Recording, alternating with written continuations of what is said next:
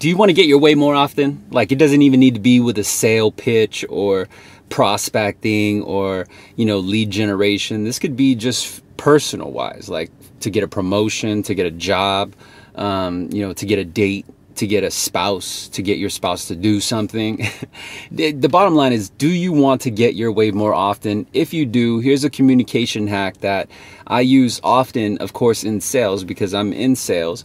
And the motive, the entire goal of using this communication hack is that I just want what I want.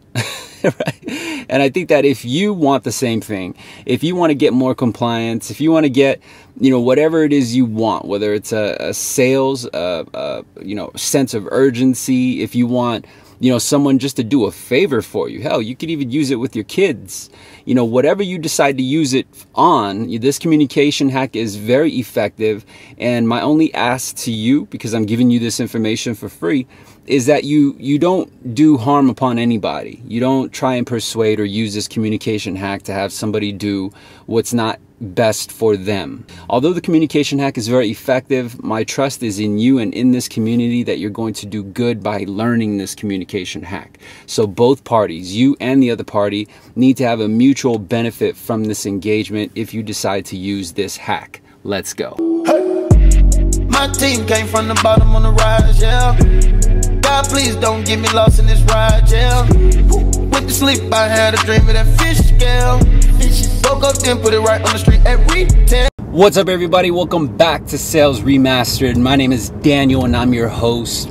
And in these episodes, as we go into the fall season, today is Halloween, you're gonna notice that I'm driving more and more in the dark, and that's just a sign of the times. We're going into a new season, time's about to change, and I appreciate your patience as it seems like sometimes for those of you who are watching, um, you're just looking at a dark screen. It's not my lighting per se, it is the fact that it's just dark, and right now it's about a quarter to seven on my way home to get ready for my work or my job and in the in the in the journey of going from the gym to the house i like to capture some content for the audience so that i can share with you certain hacks and techniques that can ideally help you improve your day-to-day habits and help you generate a couple extra sales.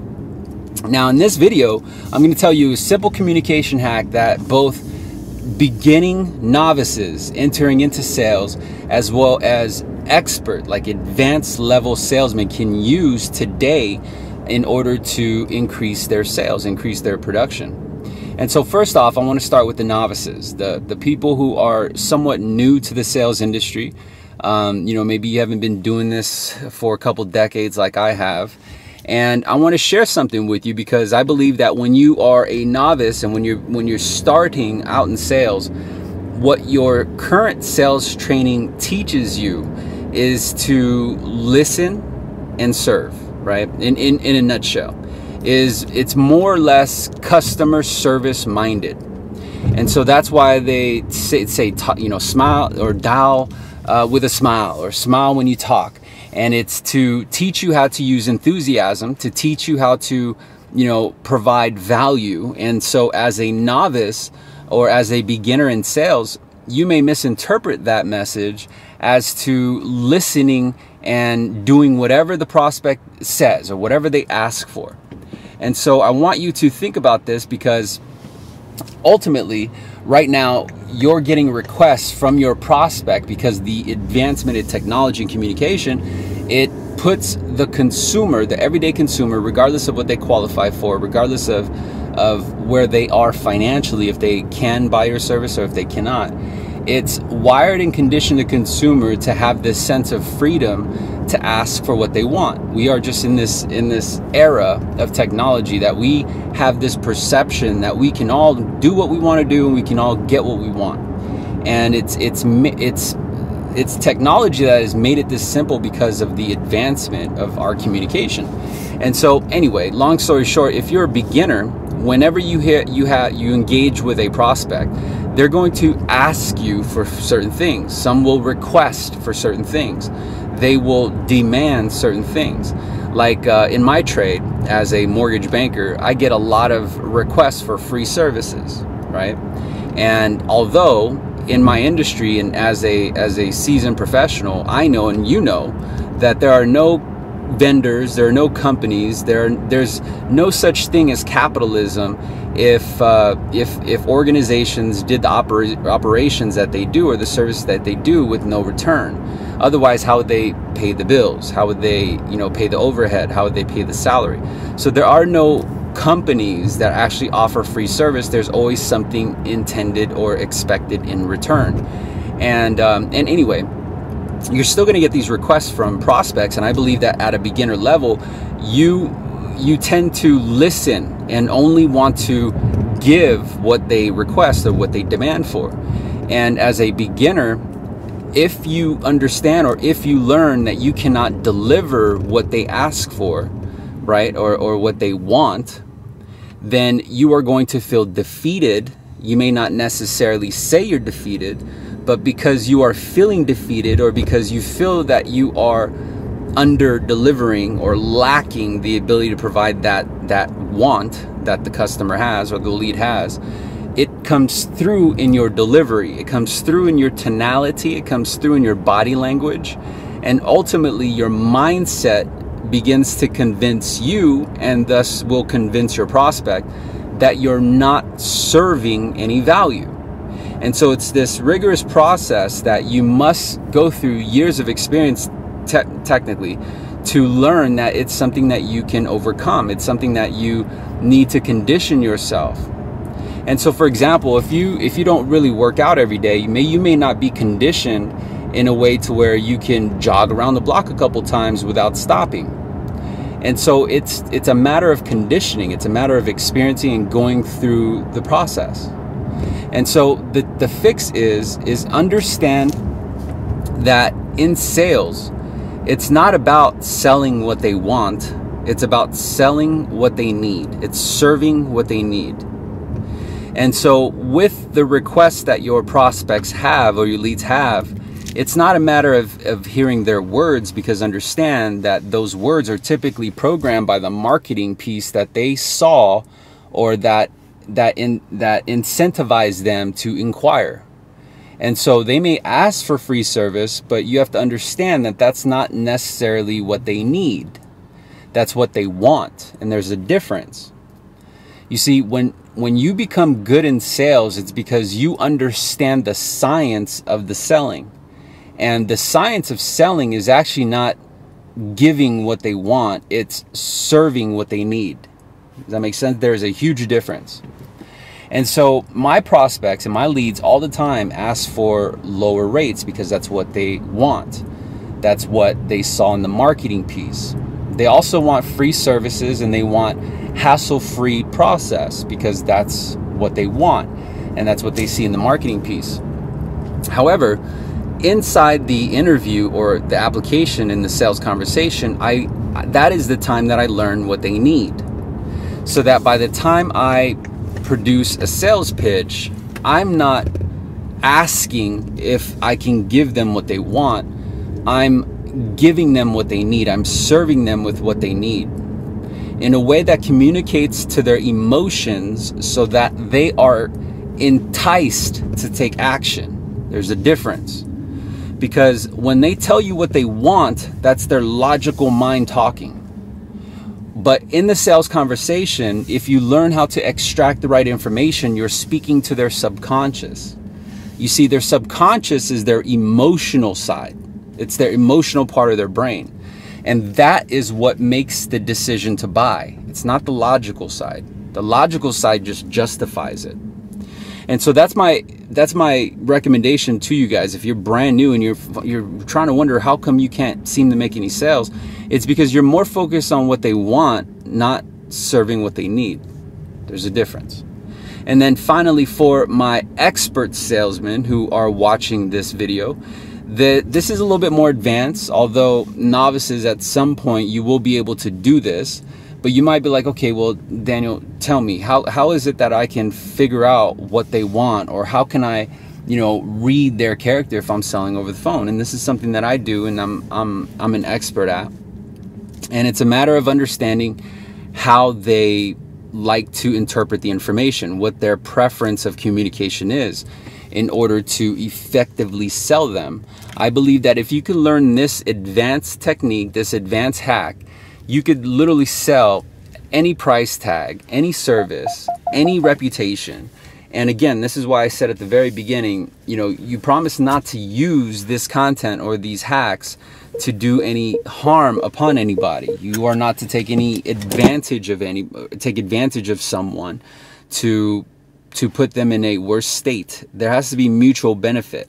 They have of course the prospect or the lead or the person you engage with has to walk away with immense value. So use this though, and I and I believe that sales we have this challenge of having to sell people to help themselves. And it's unfortunate, but it's just this conditioning that consumers have because again, technology is, is, is advanced communication so much in a way that predators are able to get away selling trash. And so now we are left with having to convince people to help themselves. And and only the ch- the challenge will only be met by those who deserve to meet the challenge. And i believe you deserve to meet the challenge because you've taken roughly now about 10 minutes into learning techniques to be better at your job. And so this advanced technique is very very effective because it communicates in a way um, that that moves straight to the subconscious mind of your prospect. And it delivers in in a almost a hypnotic way because ultimately this advanced technique and why I say it's advanced is because you as a novice shouldn't necessarily focus on this one thing because you'll miss everything else. Whereas an advanced salesperson, they're already kind of auto tuned, they're auto programmed um, to hear these things. Uh, or conduct certain actions to where they could pick up certain things. And that one thing, this one advanced thing that, that, that the advanced uh, sales experts that are watching this can can learn is their wording of how they want to communicate. You see, there are three types of communications. There's audio communication, there's visu- visual communication, and then there's kinesthetic communication. And and let me give you the difference. So so audio, right? Uh, communication is someone who prefers to absorb the information, learn information through audio form and their suggestions or their wordplay is going to sound something like i'd like to hear about your or or let me let me talk to you about right because they want to hear it. They want to or or uh, let me hear about your special that i that you know i was listening to the radio or i'd like to listen to you more right? They're they're saying things subconsciously that they don't that they're not aware of that are going to tell you their primary preference of communication and so we could pick up on these things because we can then reiterate those same words that they will be more in tune with and will they'll, that they'll absorb more um, than saying like someone was more audio. I'm not going to say words like "Hey, let me show you" because that that's just it's like oil and water. It conflicts. It's not their primary preference of communication. Whereas someone who's more visual, they're going to say words subconsciously that that clearly shows you that they're more visual. So they're going to say, yeah, I'd like to see, or I'd like to, um, you know, I'd like you to show me, right? But it could be over the phone.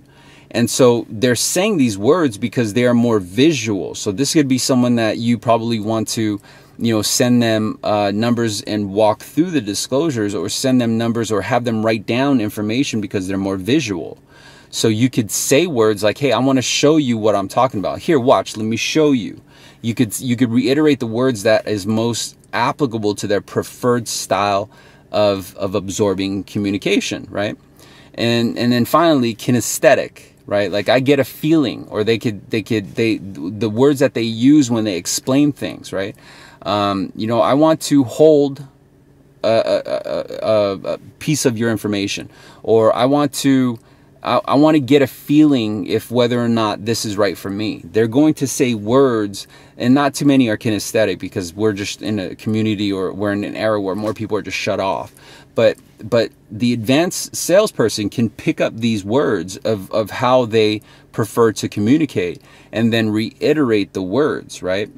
So you can then reiterate, like, can you imagine how it would feel Or can you imagine having your hands on and then you're giving them their preferred method of communication, but you're using the value that you're serving. And again, as I just mentioned, what you're serving is what they need, not what they want. They're going to ask you what you want, but your job as a salesman is to serve what they need. Does that make sense? Because when you wholeheartedly understand that it's something that they need, then you have confidence in what you're delivering. And confidence is the number one rule next to enthusiasm in terms of selling because you need to have full confidence in what you're providing as a solution. If you don't have confidence in your product or your service, then you're you're not going to do well. You're just the bottom line. You're not going to do good in sales. So you need to have utmost confidence and the only way you can really do that is you need to wholeheartedly believe that you're giving the prospect what they need. All right. So I hope you guys enjoyed the content. Please don't forget to like, comment, subscribe and share. I'll see you guys in the next video. Bye show you everything I know. Jungle slide.